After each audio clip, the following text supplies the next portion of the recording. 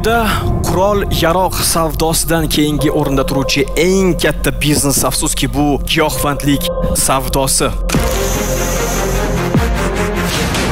Sizga kim nimani berursa o'sha kayfiyatingni ko'taradi o'shani yeb yuborasizmi olib sotib xalqni zaharlayotgan narko kuryerlar haqida gap yurityapman mana ikkita do'stim qamalib ketdi bittasi o'lib ketdi keling hozir chuqurlashib ketsak man hozir bir yildan beri kutayotgan joylarim ham bor Giyohvandlik moddalarni qilayotganlar haqida gaplashyapmiz. Buni har bitta sotib olingan gramiga 100 dollar berishadi kechirasiz man gapimni davom ettirib olay bular aytganlarida qog'ozdagi gaplar gapirilyapti yoshi bu yerda katta hammasi. odam mana man tuzaldim-ku Dunyoda qurol yaroq savdosidan keyingi o'rinda turuvchi eng katta biznes afsuski bu giyohvandlik savdosi. Taqiqlangan moddalar tibbiyotda og'riqni qoldiruvchi yoki kasallikka malham vazifasini bajarishda qo'llaniladi va ushbu dori vositalarini dorixonalardan shifokorning tavsiyasisiz sotib olish mumkin emas aslida. Ushbu illatga yo'liqqan insonlar o'z taqdirlarini juda ham salbiy ko'rishadi. Onani otadan, otani onadan, onani farzanddan, farzandni onadan ayiruvchi bu illat qachon yo'qoladi? Bu savollarning bariga o'zimizda javob topamiz. Mehmonlar, bugungi mavzuyimiz o'ta dolzarb. E'tiboringizni monitorga qaratamiz.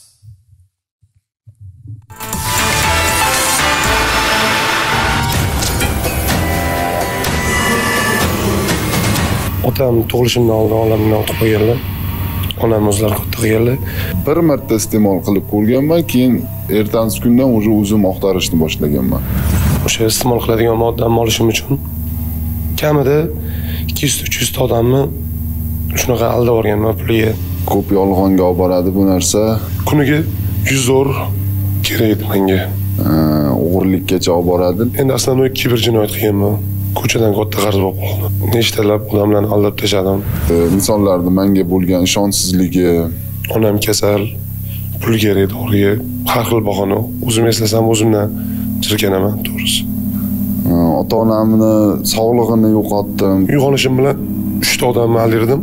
Kartamga bir million kism tushirtirardim xotinim ketib qoldi shuni orqasidan yigirma kunlab iste'mol qilmay yurgan paytim bo'lgan mana man yuribmanku shunaqa iste'mol qilmasdan turib baribir yana shu narsani ichib kirib qolardim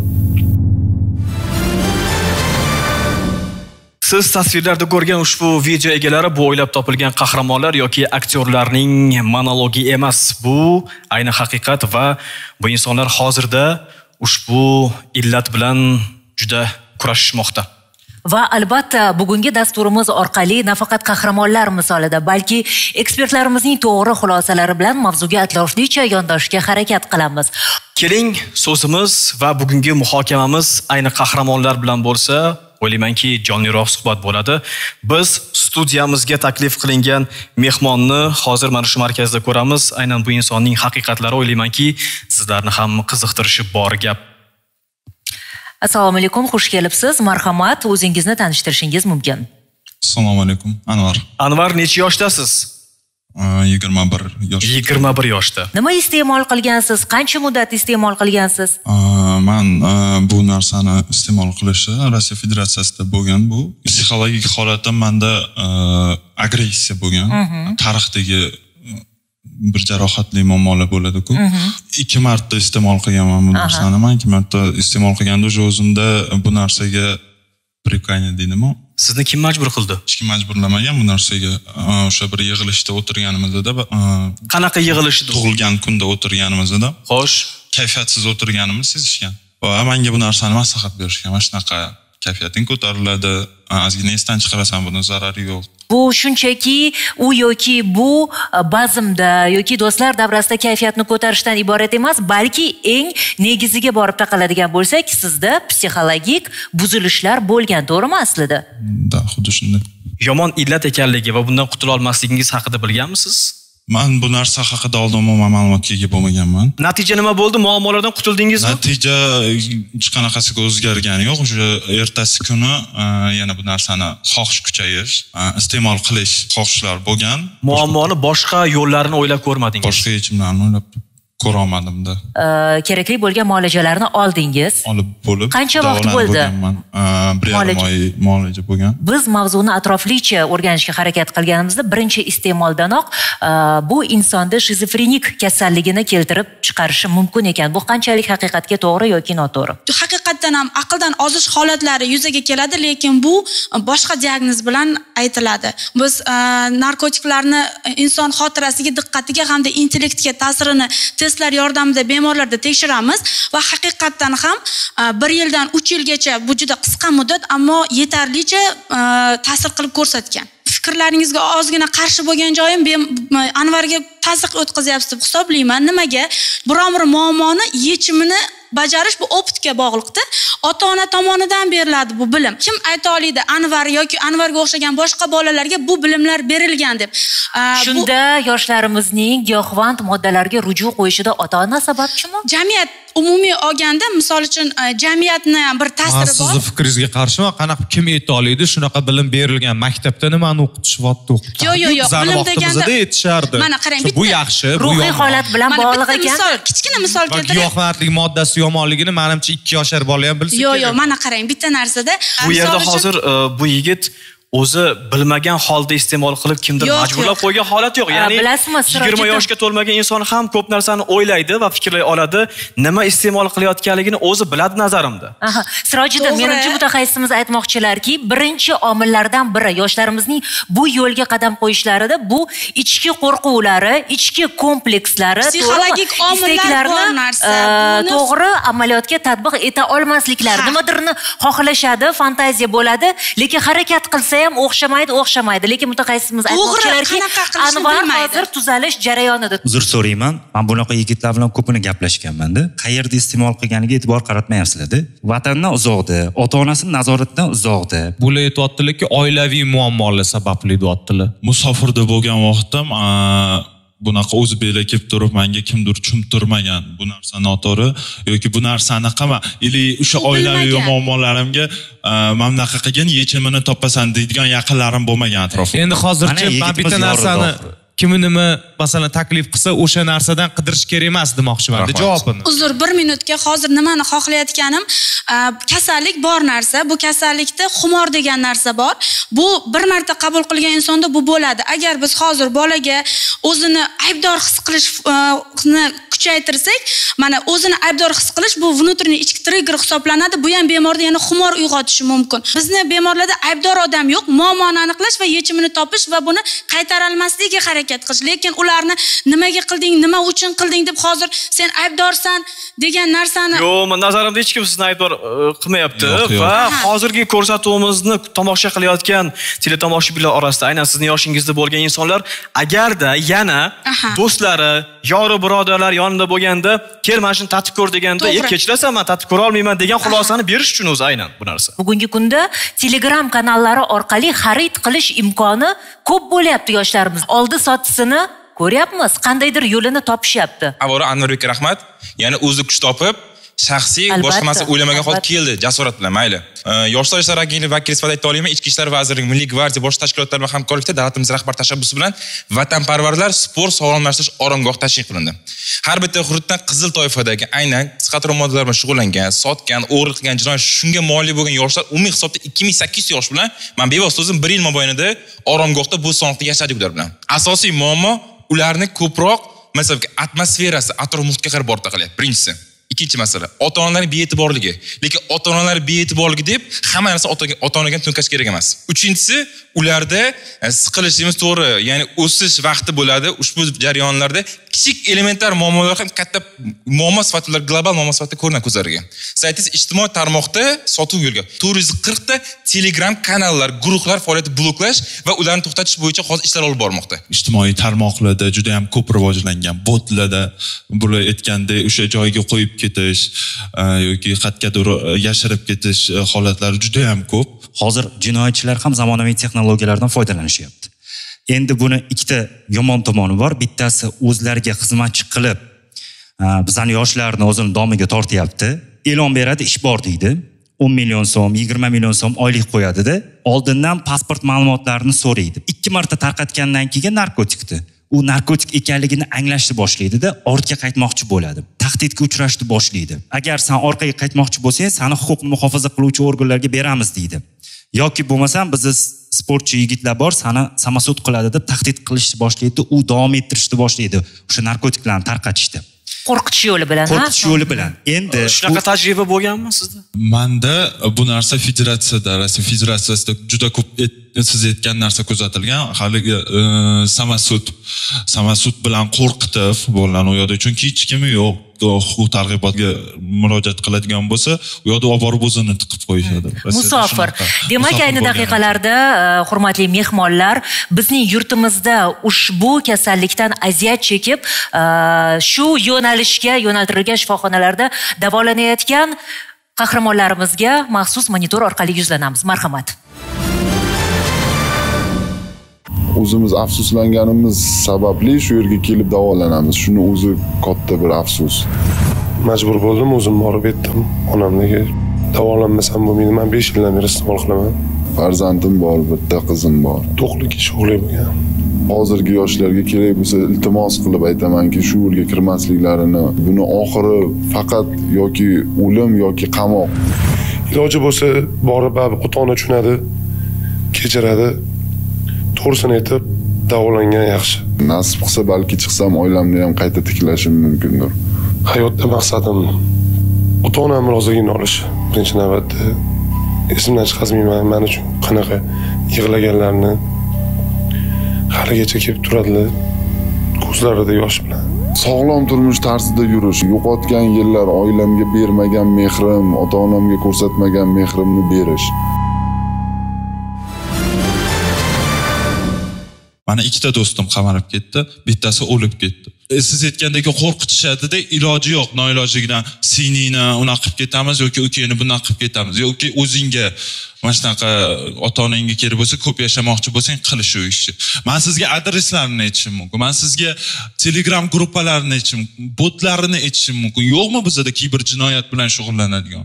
Kiber jinoyatlar bilan kurashadigan alohida bo'lim ishlayapti va bu bo'yicha juda ko'p qilingan natijalarni ham ko'rdik lekin bu yigitni savoli nazarimda to'g'ri savol berildi agar bir yuz ikki raqamiga qo'ng'iroq qilib jinoyat yoki huquqbuzarlik haqida xabar berilsa bu birinchi galda fuqarolik burchimizni bajargan bo'lamiz.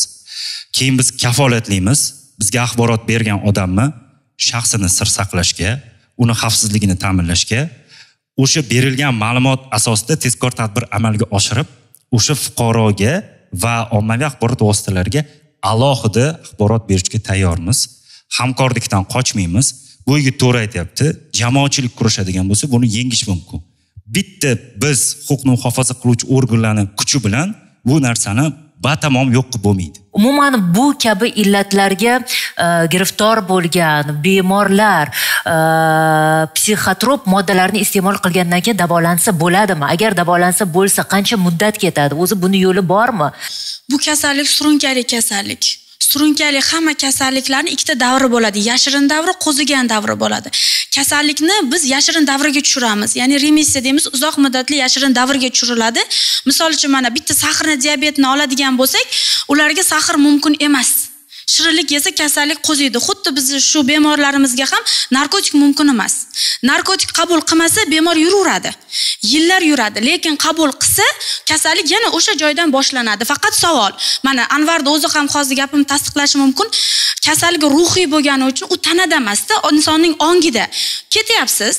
Yo'lingizdan E, trigger chiqdi ya'ni qo'zg'atuvchi omil tashqi triggerlar ya'ni sotuvchilar muxtlar zakladka qidirayotgan odam. Siz bitta ko'rinishidan farqlay olasiz. E, Eforiyada kayfda yurgan odamni siz ko'rdingiz niyatingiz yo'q psixoaktiv modda qabul qilish lekin bu sizga signal beradi. Bittasiga jiddiysiz ikkitasiga jiddiysiz uch to'rt kundan keyin bittasi gup etadi va sizni narkotik qabuliga tortadi. Ichki triggerlar bor. Uzoq muddat ishsiz qolsangiz zeriksangiz siqilsangiz hamma negativ mana e, bemorlarimizni sog'lom hayotga chiqarganimizda ota onalar bilan tortishuv bo'ladi. Chunki ota onalar shubhalanadi. Qayerga ketyapsan? Ko'zimga qara. Nimaga ko'zing qizil? Kechasi nima bor? Bu e, shubha har doim surunkali takrorlansa ota ona noto'g'ri qildi demoqchi emasman. Lekin bu shu o'rinda bir savol tug'iladi bo'ladida e, biz asoratlarini ko'rib bilib keyin shifokorlarga murojaat qilayotgan yurtdoshlarimizni ko'p kuzatamiz to'g'rimi?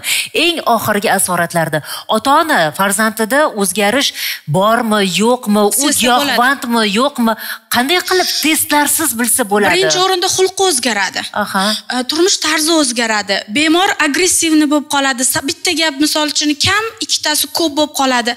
Qarzdorlik boshlanadi juda ko'p qarz bo'ladi ish joyini tez tez o'zgartiradi.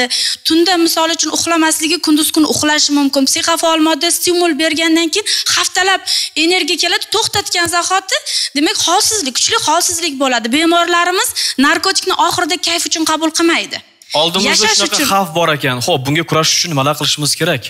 Qush uyasida ko'rganini qiladi. Ota onani o'zini vaqti yo'qda bolani tarbiyasiga muammo o'zi qayerda qahramon aka nima uchun yoshlarimiz mana shu moddalarni bemalol iste'mol qilib ko'cha ko'ylarda kerak bo'lsa o'sha tadbirlarda iste'mol qilishyapti? Marhamat. Uydagi ota sigaret chaksa bola qiziqadi chakishga. Ota ichadigan bo'lsa farzand qiladi ichishga. Har bitta narsa o'sib kelayotgan yosh kelajak bolani ta'lim tarbiyasidan bo'ladi. Rasmiy gapiladi judayam. Boya hozir bular gapirayotganlarida bo'lib qo'ydida kimdir. Judayam yoshlarimiz uchun muhim ma'lumot berayotgan edingiz siz ya'ni o'sha zakladka tashlab ketadiganlarni угрожать qilib anaqa qilib bunaqa hollarda nima qilish kerak ular shu narsani tushuntirib bersangiz mana shu televizorda ko'rayotgan yoshlar faqat o'ziga ishonch hosil qilib o'sha shakka qiladigan qilib tushuntirib bersangiz manimcha yaxshi bo'lardi. ichki ishlar organlariga murojaat qilish kerak. Shaxsini ham sir saqlaymiz. Uni urmoqchi bo'lib kelib tahdid qilayotgan odamlarni ham tezkor tadbir bilan qo'l qo'lga olib qonun ustuvorligini ta'minlab beramiz. U 15 million oylik taklif qilyaptimi u tekin pishloq qopqonda bo'ladi. Birinchi bo'lib odam o'ziga bog'liqda ota onasi qattiq turishi kerak. Mana tabletkalarni gapiryapmizu. Bola kechirasiz man gapimni davom ettirib ko'chaga chiqarib yuborib turib bolasini nima qilayotgani bu hozirgi paytda bolani yetmish foiz sakson foizi vaqti ko'chada o'tyapti. Eshitib turing, mani gapimni. to'garakka jo'natishadi boshqa qilishadi. Bola yo'lda nima qilayotganini ota ona bilmaydi. Eshitib turing man maktabdan kelganimdan keyin yer chopganman kerak bo'lsa ota onam nazorat qilganda endi qarab turing mana tabletkani ham gapirib ketaylik faqat ana sintetik narkotiklarga o'ralashib qoldikda. Tabletkani yomon tomoni ota ona sezmaydi uni iste'mol qilayotganini misol uchun spirtli ichimlik iste'mol qilsa odam biladi hididan kayfidan tashqi omili bo'ladi. Tabletkaniki bilish qiyin oddiy odam bilmaydi. Bola o'quvchi qayerdan pul oldi u narsaga man bitta voqeani bilaman. Zakladchik deyapti Qara, yo, yo, yo. bir marta o'sha narsani sotib olgan odam eshitadi shu Anvar gaplarni eshiting, yosh katta odam, dastavka Anvar. xizmati borliginida eshitib turib shundoq fikrimni aytib yoshlarni hurmat qiling ularni yoshlarni hurmat qiling. Yosh katta Mana, gapiryapti. man ota onani o'rganasiz ota on pul aytganlarda qog'ozdagi gaplar gapirilyapti yerda. katta hop endi mani Yosh gapimni katta. eshitgan mani gapimni eshitgan xuddi shu gaplar mana siz aytyapsizku studiyada. Biz yordam beramiz. Birga e, shuni hal qilaylik. Sotib olayotgan odam hech qachon telefon qilib turib brezikkiga mana shunaqa narsani sotib olyaptim uzr mana shuni yonini oldini ola olasizlarmi deb aytmaydi. Kibr jinoyat tushunmadim deb qochyapsiz men tomonni jinoyat aytdim. Tahdidga uchrasa sotishga kirib qolsa deb tushuntirdim. Keyin Undan keyingi gapni gapirmayman yo nega siz bugun gapirishingiz kerak? Nega agar kim keyin aytmadi demanglar kim narkotik vositalarni tarqatadigan bo'lsa o'zbekiston respublikasi jinoyat kodeksini ikki yuz yetmish uchinchi moddasiga ko'ra yigirma yilgacha qamalishi mumkin. Mikrofon bor ekan bu yoqqa chiqib hamma narsani gapiravermang yo'q hamma narsa gapiravermayman aytdim birinchidan birinchi raqam qo'ng'iroq qilsangiz u narsa zapis bo'ladi. Sizni gapingiz hamma narsa. Yo'q, man kelgan xodimlar haqida gapiryapman. shoshmay turing hozir shoshib to'xtab turing birinchikiga qo'ng'iroq qilgandan keyin nima murojaat qilsangiz sizga savol berishadi. Qachon qayerda nima hamma ma'lumotni oldin olishadi. Keyin o'sha tegishli hududiy tumanga vakillarga berib u narsa alohida shug'ullanish uchun surishtiruv jarayoni bo'ladi. Man o'zimdan o'zim osmondan olib turib gapirganim yo'q bu gaplarni. Agarda ma'lumot bo'lsa shunaqa kanallar bo'lsa bizlarga xalqimizga yaxshi Keringlar, u haqida qahramon ma'lumot aka bo'lishi. e, judayam to'g'ri aytyapsiz. Lekin bu bolani ham gapida jon borda haqiqatda aytganidek e, o'zi qo'ng'iroq qilib e, nima qilgan odami ham ga ham oson bo'lmayaptida hamma ichki ishlar xodimlari ham unaqa emas lekin e, shunaqangi bo'lib qolyaptiki o'sha bir yuz ikkiga telefon qilgandan keyin olib kelyaptida telefonini tekshiryapti. Umuman boshqa narsani qo'zg'ab tashlashyapti. Shu holatlar ham bo'lyaptida. Siz fikrimni oxirigacha eshitmayapsizlarda man sizlarni ishinglardan ayb topish emas. Просто birga ishlab shu o'zgarib narsani oldini olaylik. Aslida hurmatli mehmonlar hurmatli ekspertlar qahramonlarimiz hammaning maqsadi bir. Faqatgina hamma o'zining tajribasidan e, turmush tarzidan hayot yo'lidan kelib chiqib fikr bildirmoqda. Biz esa ayni daqiqalarda e, reportyorlarimiz ya'ni muxbirlarimiz tomonidan tayyorlangan maxsus reportajga e'tiboringizni qaratish niyatidamiz. Tezkor tadbirlardan tayyorlangan lavha. Marhamat Ichki ishlar vazirligi ma'lumotlariga ko'ra, so'nggi 5 yilda mamlakatimiz hududida giyohvandlik, psixotrop va kuchli ta'sir qiluvchi vositalar noqonuniy muomalasi uchun javobgarlikka tortilgan shaxslar orasida yoshlar 74%, shu jumladan talabalar 21%, maktab o'quvchilari 6 barobarga oshgan. 5728 nafar yoshlar, jumladan 117 nafar talaba va 45 nafar maktab o'quvchisi javobgarlikka tortilgan. Narkologik hisobga olingan 14 yoshdan 30 yoshgacha bo'lgan giyohvandlik vositalari iste'molchilari 60% ga oshgan. Narkologik hisobga olingan 14 yoshdan 30 yoshgacha bo'lgan giyohvandlik vositalari iste'molchilari 60 foizga ko'payib 986 nafarga yetgan. Bu raqamlar odamni qo'rqitadi. Nega deganda hozir ko'rib turgan bo'lsangiz, e, maktab yoshidagi bolalarda ham uchrashi bu albatta qo'rqinchli hodisa. Raqamlarni raqamlarni yana ham chuqurroq his qilish kerak? yana ham bitta chuqurroq his qilishimiz kerak Hozir raqamlarni. yuzlamoqchi edim o'zi. Bu psixotrop moddalar O'zbekistonga qanday qilib kirib kelyapti? birgina 2023 yilda o'zbekistonda barcha huquqni muhofaza qiluvchi idoralar birgalikda demak to'xtatib qolgan giyohvandlik vositalari 10 tonna 300 kilogrammdan oshdi. Ayni shu giyohvandlik vositalarining 9 dan 2 tonnasi faqatgina birgina bojxona organlarining hissasiga to'g'ri keladi transchegaraviy daryolar orqali oqizib olib o'tish holatlari bor. Yoki yaqinda mana ijtimoiy tarmoqlarda ko'rdinglar chegaradosh hududlarda yashirin demak tunnellar qazish orqali olib o'tish holatlari kuzatildi. Va yana bitta holat bor bu ayniqsa pandemiyadan keyin juda avj oldi. Bu pochta va kuryerlik jo'natmalari orqali bu ko'proq o'sha sintetik narkotiklarga borib taqaladi. Chunki sintetik narkotiklarni an'anaviy narkotiklardan farqlash qiyin ularni o'tkir hidi bo'lmaydi. Masalan gollandiyadan kelayotgan jo'natmalarda sintetik narkotiklar bu gollandiyada bilasiz gullar ko'p o'stiriladi gul uchun o'g'itlar tarzida keladi. Yoki bo'lmasa xitoydan kelayotganda kosmetika uchun parashok kosmetika uchun xomashyo tarzida jo'natmalarda jo'natish holatlari ko'proq ko'zga tashlandi. Albatta tezkor xodimlar ishlayapti. Mana bitta holat aytaman kosmetika. 66 yoshli ayolga kosmetik vositalarni ishlab chiqarish uchun xomashyo tarzida 10 kilo 20 kilo jo'natma kelyapti. Keyin o'sha ayol bilan bog'langanimizda yo'q man hech qanaqa kosmetika ishlab chiqarish bilan shug'ullanmayman deyapti. Sun'iy ya'ni sintetik narkotiklarni turi har soatda ko'payib boryapti. Hop, muammoni eshitdik. Buni yechimiga aniq yechimi? birinchi galda mana hozir to'liq O'zbekistonda mana shu moddalarni yo'qotish imkoniyati bormi yo'qmi?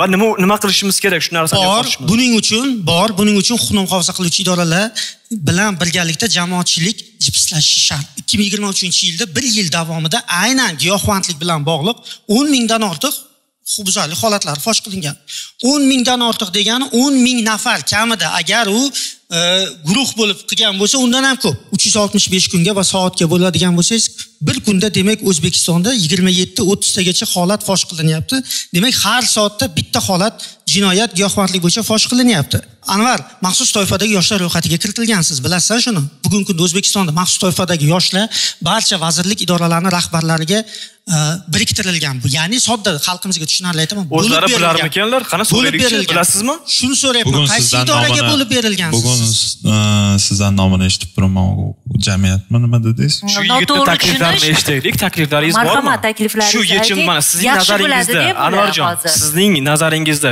bu muammoni to'liq bartaraf qilsa bo'ladimi? Taklifingiz bormi? bo'ladi iste'mol qilayotgan odamni ham olib borib qamab qo'yishadida iste'mol bilan ushlagan odamni ham Nima qilish kerak? Yoniga yana qo'shib berish kerakmi bu narsa? Nima qilish kerak o'zi? Nima- nima maslahat emas. mani maslahatim shu olib borib e, psixologlar bilan ishlab yoki mana man tuzaldim-ku nimaga ular tuzalmaydi psixologlar bilan ishlab o'sha shifokorlar bilan ishlab tuzatsa olib borib tiqib qo'y chiqib yana ishini davom Sirojiddin aka aytyapmizda e, aytyapmiz ko'p mana shu dorilarni hozirgi o'sha sintetik dorilarni yoshlarda bo'lyaptida. Yoshlarda. eng zo'r yo'li buni yo'qota yo'qotishni o'sha yoshlar o'zi o'shaqa kimnidir ko'rsa kimnidir e, shu ish ishlarni qilayotganini kimnidir shunaqa harakatlarni qilayot- qilayotganiga rag'bat berish kerak yoshlarga. Shu bolalar yoshlari o'ziga yana yoshlari o'zini qo'yishi kerak xuddi shunday qilib Yo'q, man- yo'q hozir man Siz- sizga siz- isbotlari bilan keltirib Hozir beraman bugungi Bir- mavzu- hurmatli bugungi boshlovchilar iste'mol qilayotganlar haqida gaplashyapmiz. Mana Iltimos, qaranglar, mavzudan, mavzudan chekkalik Ha, chiqishlar yo'q. hozir- Bir daqiqa. O'sha mavzu bo'yicha hozircha iltimos eshitinglar boshlovchimiz-ku biza iltimos hozir gapirasizlar Sizlar dam olinglar, bo'ldi. kelinglar mana bunaqa qilaylik mana shu Yechimini e, topaylik. muhtaram, yaxshi boshlovchilar. olib kelmasligini e, hozirgi yoshlarga bildirish maqsadida anvar e, har kuni e, taxminan necha pul ketkazardingiz mana shu moddalarni sotib olishga? Kuniga emas uni har bitta sotib olingan grammiga 100 dollar berishadi. Mhm. U va necha kishi iste'mol qilsa bo'ladi? iste'mol qilayotgan odamni o'ziga bog'liq necha kishi qilsa ham Bo'ldi. misol uchun uni 5 daqiqa yo 15 daqiqa yoki 1 soat 2 soat ertalabgacha yetkazish bu mavzuda bu mavzuga yana qaytamiz biz eshitishimiz kerakki mana bu oq mana bu qora mana bu narsa nima bo'lishini endi qarang hozir e, yoshlar dedik ota ona dedik maktab yoshi dedik o'zi bugungi kunda e, maktablarda bizdagi ma'lumotlarga qaraganda milliy milliy gvardiya xodimlari biriktirilgan to'g'rimi? Bormi bizni studiyamizda milliy gvardiyadan xodimlar? Albatta xabarlaringiz bor. Prezidentimizni tashabbuslari bilan demak inspektor psixolog lavozimlari milliy gvardiyaga o'tkazib berildi. Endi endilikda demak milliy gvardiya organlari aynan maktablarda Э, e, xavfsizlikni ta'minlash. O'sha aytilayotgan huquqbuzarliklarni barvaqt oldini olish bo'yicha shug'ullanib kelishyapti. Umumiylikdan qochaman. Iloji boricha aytganingizdek faqat o'sha mavzuni markaziga urishga harakat qilaman. Ayrim blogerlar va jurnalistlarimiz tomonidan hozirgi kunda e, milliy gvardiya maktablarini demak e, qamoqxonalarga aylantirib yubordi. Rejimli obyektga o'xshab qoldi milliy gvardiya. Kelgandan keyin maktabdagi bu ta'lim jarayoniga nima qiladi milliy gvardiyani jalb qilib endilikda endi bir qattiq qo'llik bilan bunaqa qilinadigan bo'lsa ta'lim o'ladiku degan bir asossiz demak axborot tarqatuvchilarimiz bloger deymiz a qo'sh tirnoq ostida. Demak mana shunday shaxslarimiz paydo bo'lyapti. Ularga aniq bir gapni aytgan bo'lardim. Demak farzandingiz bo'lsa maktabga jo'natyapsiz. Xavfsizligi ta'minlangan bir maktabda uni nima ish bilan shug'ullanayotgani u maktabga nima olib kiryapti nima olib chiqyapti aniq bilsangiz ko'nglingiz xotirjam bo'lsa bu yaxshi emasmi? Milliy gvardiyani qonuni bor. O'zbekiston respublikasi milliy gvardiyasi to'g'risida qonunga binoan demak profilaktika sohasini amalga oshiradi. Bu aynan o'sha maktab o'quvchilari o'rtasidagi jamiyatdagi demak huquqbuzarlikni barvaqt oldini olish hisoblanadi. O'quvchilar bilan gaplashyapsizmi qanaqa jarayon qanaqa ketyapti o'zi? Maktabga olib kirilayotgan va olib chiqayotgan masalalarda masalan o'sha sumkasida nima qanaqadir bir o'tkir tig'li buyum bormi? Haqiqatdan agar trafareychiklik bilan yoki zakladchik bilan shug'ullanayotgan bo'lsa o'sha haqiqatdan nima pipetkalar boshqalar va hokazo bu xavotirli narsalar o'sha daliliy ashyolar chiqib keladi o'z sumkasini o'zidan. Demak mana shuni ko'rish anglash orqali birinchidan keyin e, yana ham oydinlik kiritamiz sirojiddin jarima nechi pul? Nazorat qilmagan sababsiz bolasi maktabga kelmagan ota ona nechi pul jarima to'laydi albatta. Ma'muriy javobgarlik to'g'risidagi kodeksimiz qirq yettinchi moddasiga binoan demak ko'zi ochiladi ota-onalar, Ha, albatta. Farzandni demak ta'lim tarbiya berish sohasida mas'uliyatsizlik qilganligi uchun yoki uni huquqbuzarlik yoki jinoyat sodir etganligi uchun demak ma'muriy javobgarlik nazarda tutilgan. Tabiiyki bunday holatlarda ota ona ortiqcha xarajatdan qochib ham shunchalik befarq ota ona bo'lgan taqdirda ham nazoratni kuchaytiradi to'g'rimi? Bolasi bo'lar bo'lmasga maktabdan qolishida. Va o'sha vaqtda jinoyat sodir etishi mumkin bo'lgan holatdan biz asrab qolamiz to'g'rimi yoshlarimizni? Demak bu borada e, sharafli ishingizda omad yor bo'lishini tilab qolamiz bolani stressga esa tushirib psixonarkologga qilib. murojaat etmoqchi stress deysiz hozir bir minut. E, domla uzr ming bor E, mana misol uchun hozir milliy gvardiya kerak emas deydiganlarga oldin milliy gvardiyasi maktablar bo'lgandir lekin Mhm. hozir internet oqimi shunaqa kuchliki bolalarga xavf u o'n yil oldingi emas biz ham maktabda o'qiganmiz unaqa xavf bo'lmagan bitta o'zimizni necha kilometr nariyoqqa yuborgan qo'rqmay borib kelganmiz. Hozir unaqa yubora olmaysiz? Ota onalar nomidan gapiraman. Mana bu- bular ichki ishlar xodimlari o'zlarini paxalarini gapiryapti. Mana shu milliy gvardiyani o'sha maktablarga bog'chalarga berkitilganligi yuz foiz to'g'ri. Zo'r pulda nega? Mana besh yarim yashar o'g'lim bor. Mana bog'chaga bemalol borib eshikni og'zidan kirgizib yuboramiz o'zi ketadi. Boradi bog'chadan chiqishda yana o'sha turibdi. Ming rahmat shularga. Prezidentimizga rahmat. Shunchalik o'sha sharoitlarni qilib berdilar. Bu foydadan xoli emas o'zimizni xavfsizligimiz. Milliy gvardiya xodimlarini maktabda turishi albatta foydali. Xavfsizlik ta'minlanadi xavfsizlik ta'minlanadi ularni o'sha kirib chiqishi nazorat qilinadi. Bularga gap bo'lishi mumkin emas. Sirojiddin aka, boya- e'tiroz ham bildirganimiz yo'q. Qahramon aka hozir masala shundaki milliy gvardiya xodimlari rostdan ham mana shu maktablarda turgan paytda natija bo'lyaptimi? Bo'lmayaptimi? Nechta aniq faktlar gapirilmayapti. Sirojdir aka yurtdoshlarimiz kerak ma'lumot aytamizda qahramon aka sizga rahmat aytaman. Nimaga? Sizni jarima summasi ijtimoiy tarmoqlarda kuzatamiz. 340 ming so'm bo'ladi. Qahramon aka ijtimoiy gaplarni to'g'rilab eshiting, qo'shimcha qildik daqiqa. Ota onasi agar farzandi yubormasa aka meni eshitasizmi jarima qo'yilish summasi Qarang, qahramon aka 47 modda bilan siz ijtimoiy tarmoqqa o'zizda o'sha har kuni kechasi reyd qilasiz to'g'rimi matbuot xizmati xodimi sifatida. Vazifamiz kasb ishimiz albatta qilasiz. xalqimizga lekin siz uni doim reyd qilib ko'rsatib borasiz. Hurmatli tomoshabinlar hurmatli foydalanuvchilar mana biz reyd qilyapmiz mana bunaqa bu bu zo'r bu. Lekin boshqa tomonlar ham borda boshqa taraflar o'rganaylik. Hozir biz muammoni muammoligicha ekanligini bu xavfli ekanligini hammasini o'rganib bo'ldik. Bitta. Yechim haqida gaplashaylik iltimos. mana anamiz yig'ganimizda bolalarda masalan yigirma uch yigirma to'rt yoshli bolalardan so'raganimizda necha yoshda boshlagansan? o'n besh o'n olti yoshda. Bu paytda ular maktabga bormagan. Asosiy vaqtini playstationlarda o'tkazgan bolalar. Buni na maktab bilgan buni maktab ham bilmagan ota ona ham bilmagan. Uchun davomat muhimligi Davomat birinchi bo'lishi shart. faktor qilib olindi. hozir sezmayotgandirsiz lekin ma'lum bir muddatdan keyin buni effekti ko'riladi. Bola hech bo'lmasa maktab payti maktabda institut payti institutda institutda ham ota onalar bizga aytgan nimaga? Institutda daromad davomat yo'qmi? Bir oylab bolam institutga bormay narkotik qabul qilgan bu nodavlat institutda o'qiydigan bolani gapi. Ona bilmayapti ota bironta rektoratdan xat kelmayapti bolang bir oydan beri institutda yo'q deb. Yana bir narsa borki bizda bir gap borki e, biror bir yangilik qilinsa biz yangilik to'g'ri qabul qilinmaydi qo'shilaylik shu fikrga. Nimaga? Yangilik qilinsa albatta parda ortida turib olib gapirishadi. E bunaqa qilishyapti unaqa qilishyapti. Hozir to'g'ri gapni aytdingiz. Balki hozir ta'siri sezilmayotgandir lekin e, bir yildan keyin ikki yildan keyin olti oydan keyin bir oydan keyin o'zgarish sezilar balki. Bizni xalqimizda ham aytganingiz o'sha birga ishlash birga kurashish jim turaveramiz orqada. Ko'ramiz qahramon aka aytgandek ko'ramiz lekin xabar bermaymiz misol uchunda. Yechim judayam oddiy yechim judayam jo'n o'zim bitta narsaga iqror bo'ldim. Yettinchi oltinchi sinfda va to'rtinchi sinfda ikkita bolam o'qiydi. Lekin ishonasizlar mana huquqni muhofaza qiluvchi idorani xodimi bo'lib shu sohada o'n yillardan oshiq ishlab turib hali lekin o'zim ikki nafar farzandim bilan aynan giyohvand vositalar haqida suhbat qilmagan ekanman. Balki man hali vohli deb o'ylagan bo'lishi mumkin. Ya'ni bugun mana shu ekran orqali ko'rib turgan har bitta yurtdoshimiz shu ko'rsatuv ko'rgandan keyin bugun o'tirib farzandiga shuni tushuntirsa mana bunaqa mana bunaqa oqibati bo'ladi. Palonchini agar bilsang mana shuni dastidan o'lib ketdi yoki qamalib ketdi deb oddiy o'zimizdan uzoqdan emas balandparvoz bir shior gaplar emas oddiy o'zimiz atrofimizdagi insonlardan misol keltirib bor yo'g'i besh daqiqa o'n daqiqa mayli haftada bir marta demak shu birinchi mavzu yechim ota ona baribir ota ona oilaga aylanib muloqot. aylanib oilaga borib mutaxassis sifatida ikkinchi yechimni bering eng asosiy xulosani menimcha e, ekspert psixonarkolog to'g'ri qo'yadilar. Biz o'zimizcha bu omili bu omili deb e, o'zimizni lekin fikrlarimizdan kelib o'zimizcha emas o'zimizcha emas to'g'ri fikr aytyaptilar. Ota onani nazoratini yo'lga qo'yish kerak. Birinchi yechimni topdik endi ikkinchi yechim mutaxassis sifatida marhamat.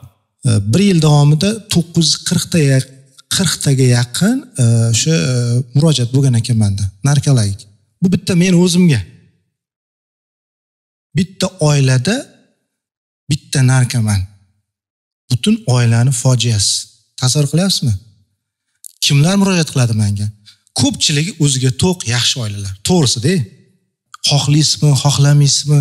O'ylaysizda nimaga? U bitta sog'liqni saqlash yoki ichki ishlar yoki ta'lim emasda bu jamiyatni muammosi. Jamiyatni eng birinchi bo'g'ini bu asosi oila ota ona men shifokorman.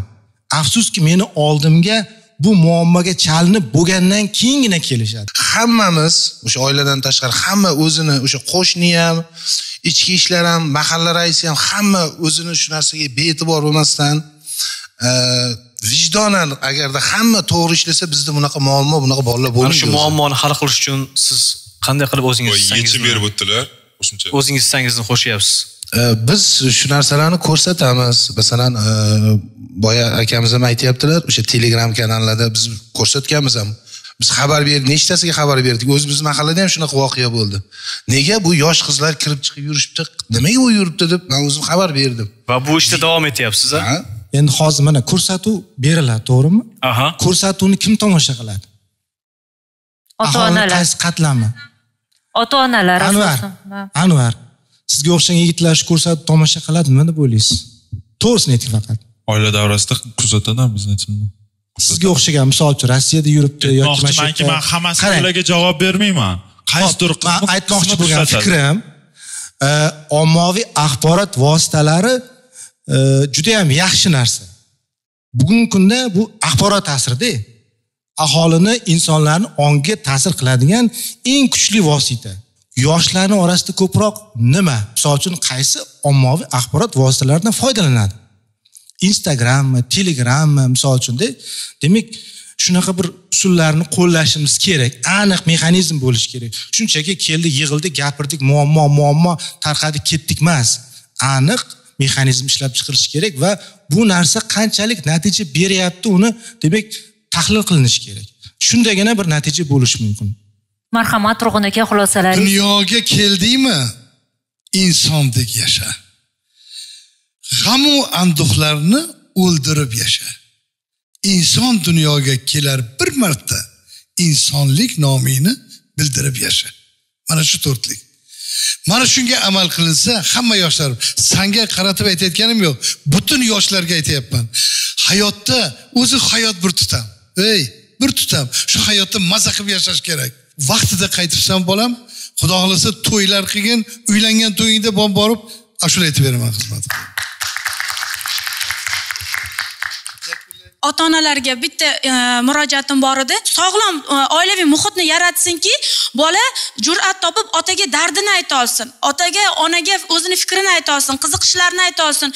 Bir shaxs sifatida o'zini maza qilib o'tiradigan joy oila bo'lishi kerak. O'shanda narkotikka ehtiyojlar bo'lmaydi. Yana taklif bersam ruxsat bersanglar agar birinchi marta taklifim. Misol uchun radarlarga qo'yapmiz. Favqulodda oldini olish bo'yicha. Yoki mana open budjetda ovoz bersa rag'batlantiryapmizda lekin bunday muammolarni aytsa biz rag'batlantirish tizimini yo'lga qo'ymaganmiz. Birinchi taklifim rag'batlantirish tizimini yo'lga qo'yish boya aytgandek ikkinchi taklifim ichki ishlar tizimida kecha platformani ko'rdim. Mening inspektorim degan ilova ishlab chiqaribdi. Registratsiyadan o'tdim o'zim. Va so'z tugmasi yordamini bossa favqulodda ikki uch sekundga yetib bormasa ichki ishlar organiga to'g'ri to'g'ri telefon qiladi. Nima muammo? Nima masala qayerdasan? Qayerdan so'rab o'tish shart emas. Joyi to'g'ri to'g'ri mani qayerda joylashganim lokatsiyasi yonib turadi. Shunaqa. Mana shu tizimni qo'llab quvvatlasangiz kecha man ko'rish rahmat sizlarga kattakon mana shu tizimni yana ham rivojlantirib keyingisida maxfiyligi ta'minlangan holda misol uchun mani do'stim psixotrop modda bilan aralashib qolgan. Man buni bilaman lekin men e qo'ydim erta quloq degan nom chiqib ketmasin nima kerak bor deymanda nima kerak bor yomon otliq bo'lgan lekin agar boya aytganimdek rag'batlantirish omili yo'lga qo'yilib aniq tushuntirilsa ey san bitta do'stingni kelajakda yomon yo'ldan olib qolyapsan. Bu senga manfaatli ertaga. Balkim manfaat uchun do'sting uchun erta kelajagi uchun degan narsa tushuntirilsa o'ylaymanki bu to'g'ri bo'ladi. Boshqa fikrim yo'q. Bu narsa tizimi bor. Stop narko bot degan botimiz bor telegramda. Bemalol murojaat qilish mumkin. Qayerda sotyapti? Geolokatsiyasi boshqasi.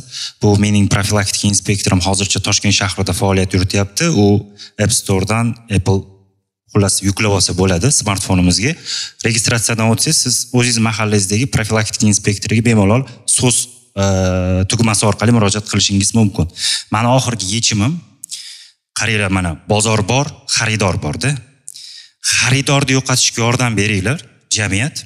Xaridorni shu sotib olayotgan bolalarni kamaytirishga oila yordam bersin.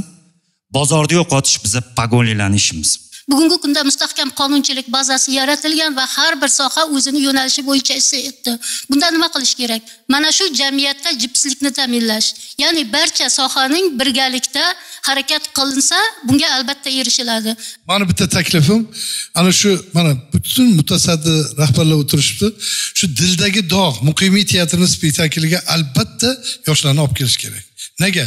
Ming marta o'qigandan ko'ra bitta ko'rsa u o'shani o'sha oqibatlarini o'sha yomon illatligini boshqasini ko'radi o'sha yerda. O'sha yerda bir katta o'ziga nima oladi? Ma'naviy oziqa oladi. Rahmat. Oxirgi fikr? Tekin. Man aytyapman tekin kirishadi. Ikki nafar e, farzandim bor. Shundan e, xulosa qilib mana shu yerdagi hozir ustozlarni akalarni opalarni fikrini eshitib shunga amin bo'lyapmanki mana bitta savol hammaga bir kun bir sutka davomida qaysi birimiz bolamiz bilan uch daqiqa shug'ullandik. Ishdan keyin kim shug'ullandi? Savol. Uch daqiqa emas uch daqiqa mana uch daqiqa. to'rt soat ham shug'ullanish uch daqiqa shug'ullanish degani u bolaga ovqat ber ovqat ber yo kiyim olib ber u emas. Dildan suhbatlashish nimanidir o'rgatish odobni hech kim o'rgatmayapti. Maktabda ta'lim beriladi institutda ta'lim beriladi lekin tarbiya oilada bo'ladi aka.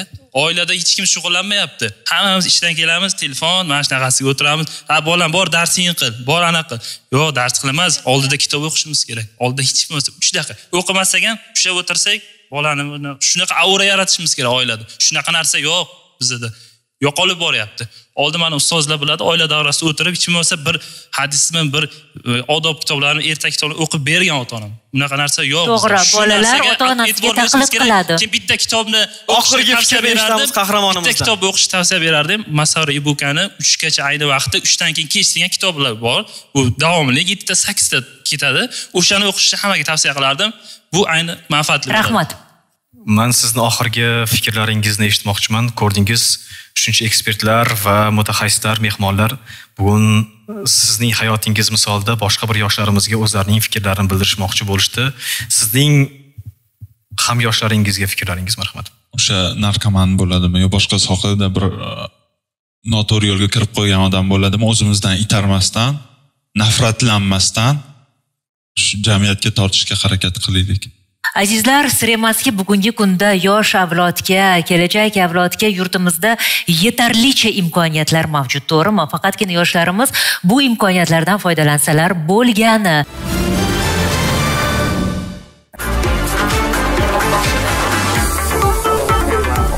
Bundoq qarayman ozgina to'xtasam atrofda hamma ishlaydi man qolib ketaman. Manga shaxsan o'zlari ishondilar. Yoshlarimizga to'siq emas imkoniyat yo'llarini ochib bersak albatta natijasiga erishamiz o'zimga juda katta kuch qudrat olaman sizlardan. Sizlar mana shunday kuch qudrat egasi sizlar. Men har gal qayerda bo'lishdan qat'iy nazar yoshlarimiz bilan uchrashish uchun ko'proq vaqt topishga harakat qilaman. Sizlarning g'ayrat shijoatlaringizdan ochiq aytsam kuch qudrat olaman ko'nglim tog'day ko'tariladi. Sizlarni o'zbekistonning eng katta boyligi bebaho xazinasi sifatida yuksak qadrlayman. Meni tomosha qilayotgan inson senga bir gapim bor. Avvalo o'z hayotingni rasvo qilma. Yaqinlaringni ota onangni qarindoshlaringni qiynab qo'yma. O'zingni hayotingni esa botqoqqa botirma. Kel. Biz bilan birga harakat qil. Sen hammasini uddalayasan rahmat